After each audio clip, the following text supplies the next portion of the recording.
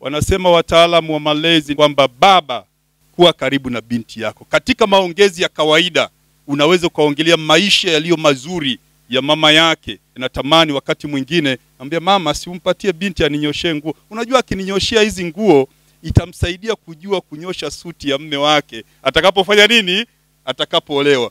Unajua, wanawake wengi wanaolewa hawajui kunyosha nguo za kiume. Kwa nini? Hakuna mahali alipofanya mazoezi ya kuzinyosha. Ni wapi atakapofanya mazoezi? Kwa hiyo wanakaa, mama fulani, umenyosha sana leo, naomba hizo nguo ni nyosha hata binti anisaidie, ipasi inakuwa hivi. Vivyo hivyo kwa kijana wa kiume, kwa mama yake, tuwe karibu na watoto wetu. Usipokuwa karibu na watoto wako, watakuwepo wengine watakaokuwa karibu naye. Kumbuka, anataka nafasi ya mtu wa kuwa karibu naye, anataka mshauri. Wewe usipofanya na sehemu yako, yeye atapata mwingine wa kumshauri, wewe utakula hasara.